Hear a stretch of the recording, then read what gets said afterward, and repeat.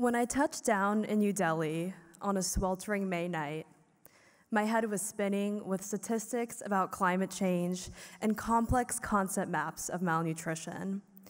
But my eight weeks in India taught me to look beyond just the science and the economics of our food systems, and instead understand how food security, climate change, public health, and social inequities play out at the human to human grassroots level.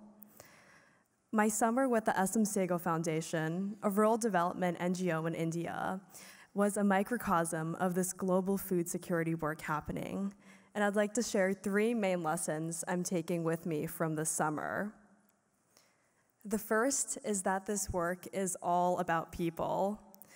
As simple as it sounds, nations and their economies are made up of people, like you and I, with their own hopes, fears, and dreams. I learned this at the villages, where I connected with mothers and farmers, teaching each other our native languages and playing with their children. And it was through these connections that I, I learned that as we work to feed the planet within planetary boundaries, the solutions to these complex and nuanced issues must safeguard the dignity and humanity of every person.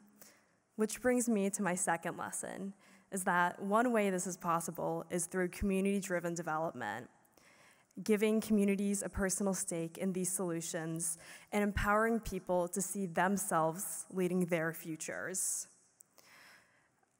I recognize this by realizing that the people I met had so much more to teach me than I had to teach them. And I learned to ask, get to the whys, to ask questions that got to the social, cultural, and community dimensions underpinning local food systems to help create solutions that were both context specific and culturally relevant.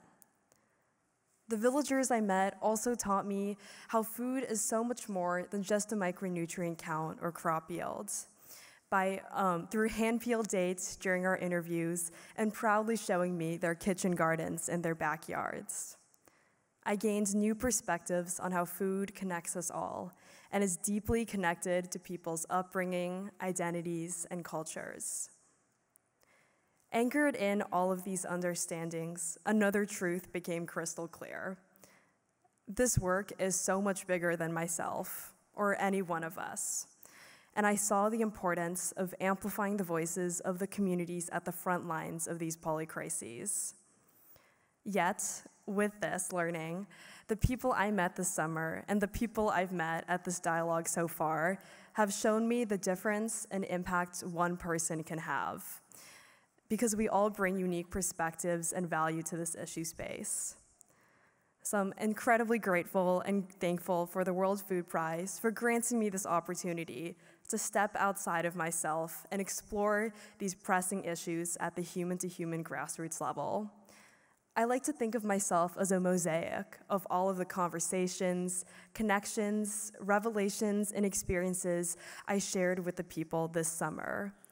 And I feel energized and empowered to tackle these global issues alongside every one of you.